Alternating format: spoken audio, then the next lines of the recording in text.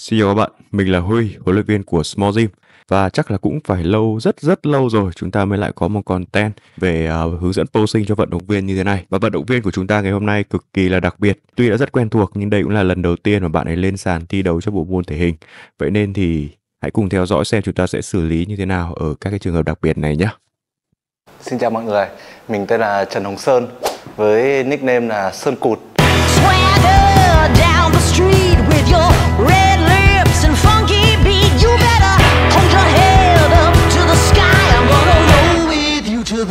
the day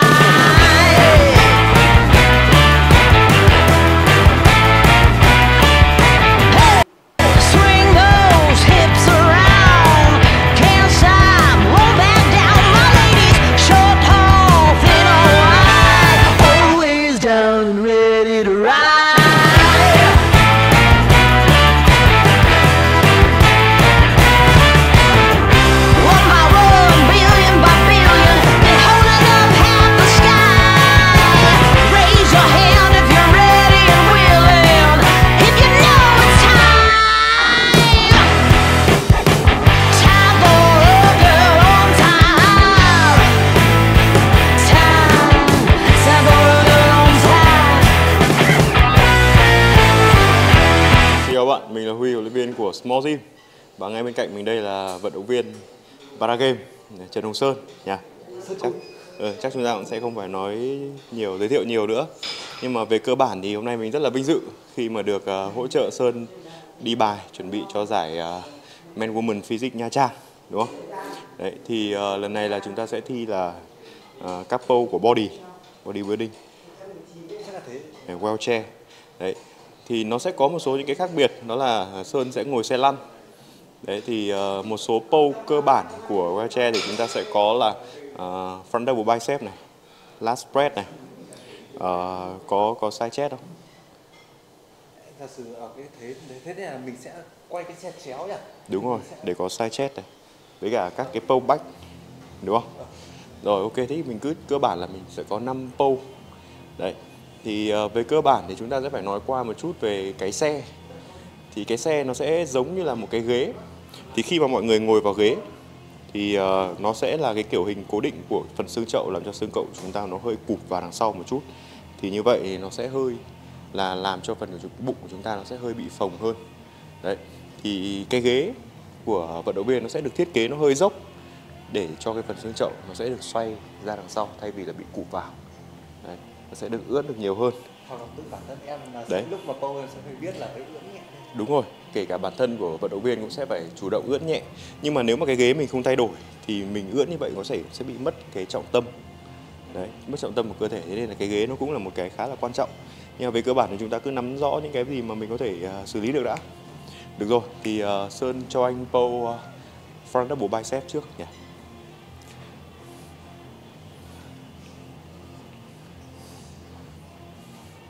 Rồi, với front double bicep thì đầu tiên chúng ta sẽ cần là V-tape, à, tỷ lệ vai và eo. Thứ hai là bicep mà, nên là chúng ta sẽ cần cho phần bicep tròn. Thì về cơ bản thì các bạn muốn phần bicep tròn thì chúng ta sẽ cần phải hơi xoay nhẹ một chút.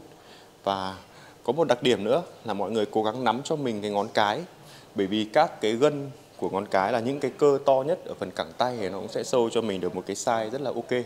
Ngoài ra thì xoay ngoài một chút cũng sẽ giúp cho phần bicep của chúng ta các đầu dài nó sẽ được ok hơn. Rồi sơn nhớ là hơi nâng lồng ngực lên để sát về cằm. Thì như vậy thì phần à, uh, xoát xương bả vai của chúng ta cũng sẽ được xoay ngoài và sẽ có thêm cái V-taper nhiều hơn. Rồi ok nghỉ. Không phải là mình chủ động cố tình là nói dài hơn một chút đâu.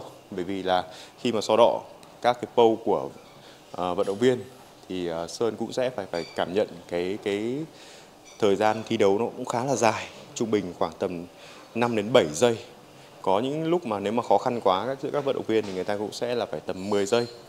Thì có thể là mình sẽ phải điều chỉnh một chút cái nhịp thở nữa. Nếu mà gồng liên tục quá thì sẽ bắt đầu có các cái trường hợp run. Đấy thì ờ, uh, Sơn có thể thử cho anh khoảng hít vào. Đấy sau đấy chúng ta pâu và bắt đầu xì hơi ra qua từng kẽ răng. Đấy đồng thời là mình cũng cười lên một chút. Đấy thì cái thời gian xì ở nhà mình sẽ có thể tập luyện, nó sẽ rơi vào khoảng 3 giây. Sau đấy mình thở nhẹ ra và lấy lại hơi. Đấy, lại bắt đầu xì tiếp. Đấy, cứ liên tục như vậy cho anh. 3 giây và thở ra một giây. Xong hít lại. Xong rồi lại 3 giây xì. Đấy, như vậy nó cũng sẽ giải tỏa cái huyết áp của cơ thể. Con thấy nhẹ nhàng hơn đúng không? Đấy, thì đây nó là một cái tip cho mọi người khi mà so đọ về à, các cái pole body. Được rồi, khó hơn một tí đi. Chúng ta sẽ có front last spread đẩy hai xương bả vai ra. À. rồi front lat spread thì việc đầu tiên anh cần là cái tiếp xúc của bàn tay của sơn với cái bụng, thành bụng càng nhiều càng tốt, thì như vậy nó sẽ vững. Ok, các bạn cố gắng tạo cho mình một cái góc giữa bàn tay và ngón cái để tăng cái tiết diện, tiếp xúc của phần bụng. Rồi, cái này chúng ta sẽ vẫn có một đặc điểm đơn giản như vậy thôi, đó là cố gắng nâng cái phần sườn lên, sát với phần cằm. Thì như vậy độ rộng nó sẽ ok hơn. Rồi mọi người cũng sẽ có thể thấy là cái phần cháp bên phải của Sơn đang bị hơi kích hoạt một chút. Thì cái này thì chắc là sẽ phải nhắc Sơn về nhà sử dụng các cái liệu pháp trị liệu để có thể giải tỏa. Ngoài ra thì nếu mà mọi người đã biết được là cơ thể mình có một số những cái lệch lạc thì có thể à, chủ động à, nhấn nhá một chút để tạo ra cái sự cân bằng. Thì ờ, Sơn pâu lại cho anh nào. Cố gắng nhá, ba một một, ba một một nhá. Nhớ cái tempo của mình rồi, bây giờ đang hơi cao đúng không? Chúng ta sẽ chủ động là hơi nhấn cái lát bên phải xuống một chút. Rồi, một chút thôi, đừng nhiều quá. Nhiều quá nó sẽ bị rúm và nhớ là chết up lên. Rồi, ok. Hold cho anh ba một một nào. Rồi. Rồi, nâng sườn lên một chút nữa. Chính xác. Cười nữa nhá. Cười cũng thể hiện sự tự tin. Rồi, nghỉ một chút nào. Khá là căng nhỉ cảm thấy nào? À. thì bây giờ phải lôi không quen được nhiều không như này đã là rất tốt rồi. Bởi vì từ cái hôm bữa mà mình cũng đã có nói chuyện với nhau khi mà mình có cái ý tưởng về cái việc thi ấy thì anh cũng đã bảo Sơn là cố gắng về tập luyện. Thì hôm đấy còn chưa đẩy được ra đúng không? Hôm nay như vậy đã là khá là ok rồi. Rồi nghỉ một chút. Thì uh, bây giờ chúng ta có thể uh, uh, đổi sang một chút các cái pô ngang À, sai chét thì nó sẽ dễ dàng hơn. Sơn sẽ thấy là tay bên nào của mình tốt hơn. Rồi, ok, thì chúng ta sẽ chọn bên phải nhé. Rồi, hơi xoay người một chút. Đúng rồi. Cái cái cái việc di chuyển cái xe cũng là một cái kỹ năng khá là là khó. Chúng ta sẽ, đây là một bài thi đấu nên chúng ta sẽ bị giới hạn về thời gian. Thế nên thì anh nghĩ là sơn về nhà cũng sẽ bắt đầu phải đi xe để tập. Đấy. Ok. Vậy thì anh anh cũng nốt lại thế thôi anh thấy phải đi chân hơi nhiều. Rồi, sai chết cho anh nào. Sai chết. Mọi người sẽ có thể đơn giản như này. Mình đánh giá thì cẳng tay của sơn hơi dài. Thế nên thì sơn sẽ cầm tay sâu vào một chút cho anh. Thứ hai là cái cuộn, hơi cuộn cổ tay. Để làm cho cái cánh tay nó ngắn lại như vậy thì chủ chúng ta sẽ tập trung vào nhiều hơn phần tay. Thứ hai là đừng put mà hãy kéo, như kiểu mình tuốt kiếm ra. Mình tuốt kiếm ra. Đấy, dùng đúng rồi. và cố gắng hơi xoay người. Thì khi mình mình tuốt kiếm ra ngược lại cái tay nó cũng sẽ tạo một lực kéo thì chúng ta sẽ kích hoạt được phần Vai sau. vai sau chính xác. Rồi bấm nhẹ ngực cho anh. Rồi chính xác. Nhớ tên của nó là side chest là cạnh ngực. Được chưa? Rồi cả bên này nữa nhá. Cố gắng đầu cứ nhìn cho anh. Đấy đừng. Rồi anh cần chest up hơn một chút và chú ý phải bấm thêm cho anh cái phần cạnh sườn này nữa rồi ok nghỉ một tí. Rồi, cảm thấy nào? Thử lại với bên trái đi cho anh xem qua bên trái nữa nhé cố gắng xoay ngang người cho anh luôn. Xoay ngang thân xoay ngang chân chân. Chân xoay nhiều hơn chân xoay hết ra cho anh. Vuông góc luôn. Rồi ok.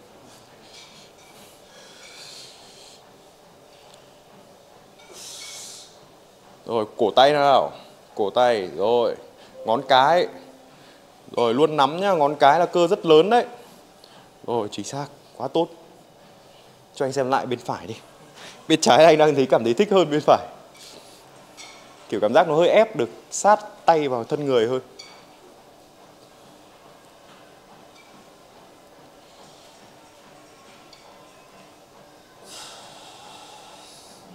Ok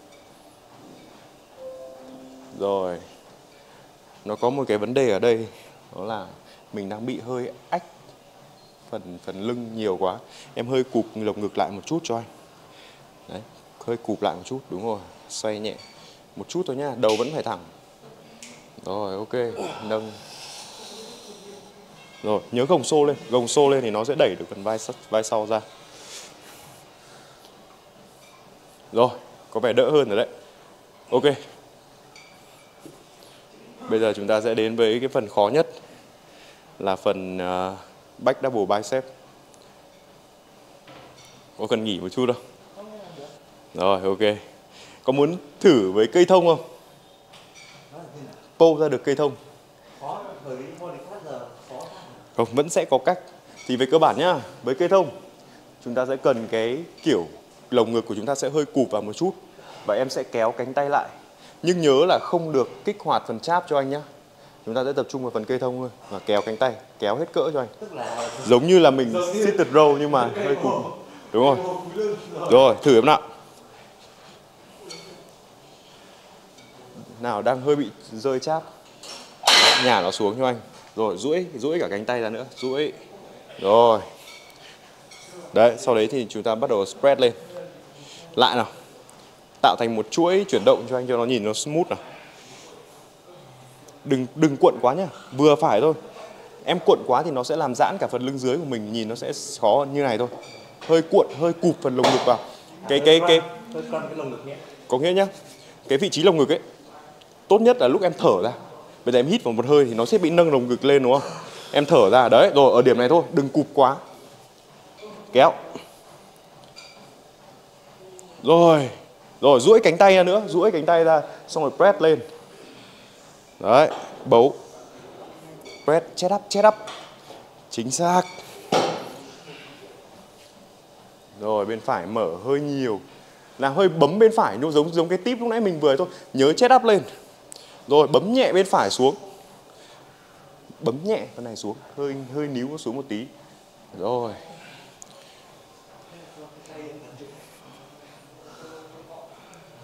Rồi bây giờ nó hơi trơn một chút đúng không? Em sẽ bấu vào cái phần quần của mình kéo nó lên kéo nó lên để để có điểm tì. Đấy. Đây một cái tip của rất nhiều bodybuilding hay sử dụng. Đây em cầm ở đây cho anh. Cầm ở đây xong em kéo lên để em có điểm press ra. Nào hơi hơi thở ra thở ra để để lấy vị trí lồng ngực. Rồi kéo. Rồi. Bấm. Press rồi chết áp lên. Ok. Ok, được đấy.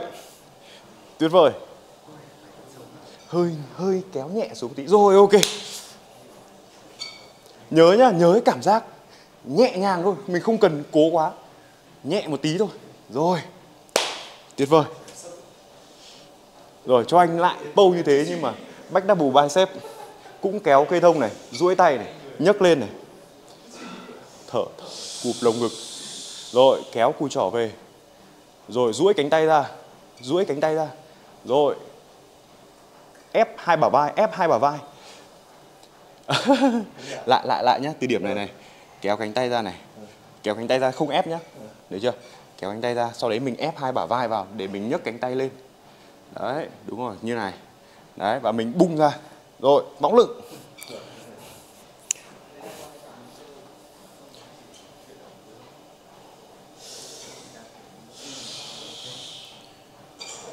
Rồi, duỗi, xòe cả bàn tay ra cho anh, xòe cả bàn tay ra cho anh. Rồi, đẹp lắm. Rồi, bắt đầu ép bả vai vào. Ép bả vai, đúng rồi. Bung. Chính xác. Nào ngả ra được tí nữa không? Rồi. Không có gì để chỉnh. Tuyệt vời.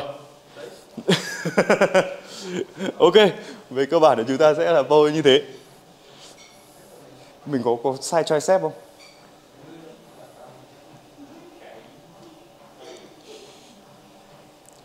cái tay ra rồi, sai xếp thì nó sẽ đòi hỏi cái biên độ của phần vai khá là nhiều. Thế nên thì em cố gắng tăng tiết diện cho anh bằng việc là có thể đan hai bàn tay này, sử dụng hai bàn tay đan chéo này. Chứ còn có nhiều người người ta sử dụng cái việc mà nắm vào cổ tay ấy làm cho biên độ nó hơi bị giãn. Rồi, chính xác. Thấy không? Ok hơn không? Rồi nhá, vẫn phải đừng đừng gồng quá, thả lỏng thôi nhá. Bây giờ mình lấy này, nhấn nhẹ nó xuống cho anh này. Vặn vặn sườn vặn cứ vặn đi, vặn. Rồi em hơi đưa vai này, nhô ra. Nhô ra đằng trước, đẩy đẩy trượt xương bả vai đi. Rồi, hơi nhấn bụng. Rồi nghỉ một tí đã. Nghỉ một tí. Thử đổi bên trái xem nào, xem biên độ nó có tốt hơn không. Đây nhá, cơ bản này. Chúng ta sẽ hơi bám nhẹ này. Được chưa? Hơi cụp người này. Mở vai này. Đấy, đưa cái phần vai ra. Không, cái tay này của em không được ngửa, tay này phải cụp, đúng rồi. Đấy.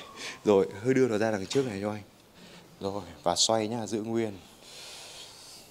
Bấm. Bên này tốt hơn đấy, bên này có biên độ có tốt hơn. Nào, thả lỏng. Tay vào đây, tay vào đây. Nào, dịch cái tay ra đây cho anh nào. Nó là side tricep mà nên chúng ta sẽ vẫn phải sâu và cố gắng mở cái vai ra. Hơi gồng bụng rồi. Khá là cẳng đấy. Rồi đầu thẳng lên một chút. Ok bên này sẽ tốt hơn bên kia nhưng mà anh vẫn nghĩ là em nên tập cả hai bên để có cái biên độ vặn của cột sống tốt hơn. Cái này nó sẽ cần cái biên độ vặn. Đấy, độ vặn xoắn thì mình có thể tập thêm các bài kiểu uh, xoay vặn. Rồi chắc chắc phải thử lại cho anh tay bên phải nhá. Có có most muscular. khó đấy. Most muscular nó đòi hỏi là cái xương bả vai mình nó sẽ phải trồi lên đằng trước. Và nó cảm giác nó hơi bật ra khỏi cái lồng ngực. Bật ra khỏi cái lồng ngực. Đây Đấy. là ép này đúng không? Đây em sẽ thấy này. Nó giống nhìn nhá. Không từ từ mọi người đây này. Nó giống như là một cái đòn bẩy ấy. Đòn bẩy của mình nó sẽ nằm ở cái phần xương xương đòn. Nó sẽ bẩy cái vai chúng ta bật lên. Ơ. Đấy nó sẽ bật lên này. em nhìn thấy không? Nó bật ra khỏi lồng ngực. Đấy thì cái này mình sẽ phải từ từ thả lỏng em sẽ duỗi thẳng cánh tay ra cho anh. Nó cảm giác nhá hơi hơi dựng người lên. Cảm giác là anh sẽ treo một cái lực vào. Đấy em cứ em chống lại cái lực tay của anh. Em chống lại cái lực tay anh đang ấn em xuống này. Đấy em chống lại. Đúng rồi em thấy cái lồng cái cái cầu vai của mình nó bật lên không? Đấy. Đấy. Đúng rồi chính xác. Đấy. Cảm nhận dần dần từ từ những cái chuyển động như này cho anh. Đây thì giả sử không có ơn gắn hơi khó đúng rồi. Đấy cái này thì chúng ta sẽ phải tập từ từ. Nhưng anh mong là hôm đấy là sẽ ổn. Rồi có hai thằng mà các em sẽ phải về nhà tập lại. Một là phần side tricep thứ hai là most muscular. Được chưa? Thì những cái đấy nó sẽ phải cần dần dần các cái chuyển động của xương bả vai. Side tricep thì chúng ta sẽ cần chuyển động xoay của cột sống nhiều. À, các chuyển động của phần xương bả vai bật lên. À, xoay bâu liên sườn nữa cũng có cách. À. Ừ, liên sườn vẫn còn có cả Thì, áp ở, ở cái đoạn này thì là abdominal ừ, vacuum đâu? Em phải thở vacuum nhá em phải thở ra này. Thứ hai em nâng sườn lên. Rồi nâng sườn lên. Ok. Nào hai đừng em em em đừng đừng bám tay nhá cái tay của mình ở đằng sau đầu ấy thì thực ra là mình sẽ chỉ để ở đằng sau cái này thôi. Đấy đúng rồi. Mở cùi trỏ lên thì nó mới tạo ra cái vi thép. Mở nhẹ thôi ở tầm này. Đấy mở rộng quá thì em cũng không gồng được. Rồi. Thằng này nó hơi thằng này phải mở ra nhiều hơn một tí. Thằng này thế này là đẹp rồi. Thằng này cảm giác nó hơi căng phần lát. Rồi ok bấm. Hơi nghiêng nhẹ một tí nghiêng nhẹ một tí anh nghĩ là cũng đẹp rồi. Cô này khá tốt đấy.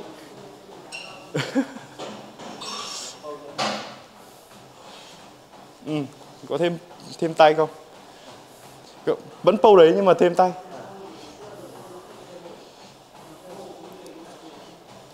Rồi hơi xoay. Hơi xoay một tí. Hơi xoay. Đấy thì thằng này em sẽ phải mở ra. Em sẽ phải mở cái này ra. Đấy và hơi hơi bụng gầm bụng. Rồi. Anh cần pâu được cái sổ ở đây.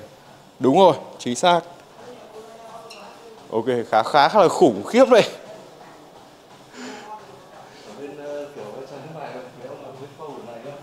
ừ.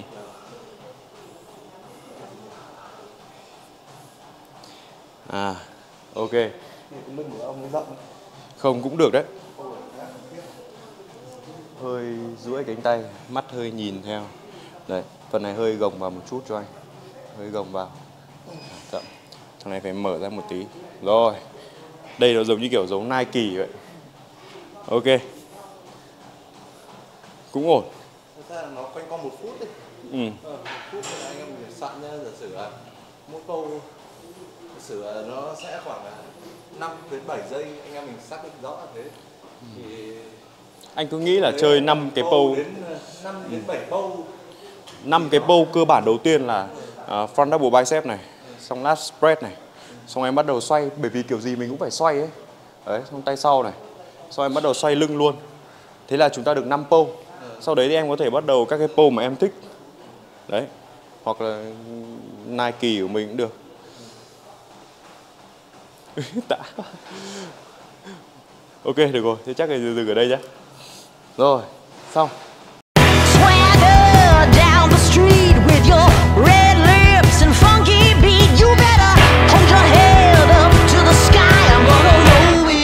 the day I die.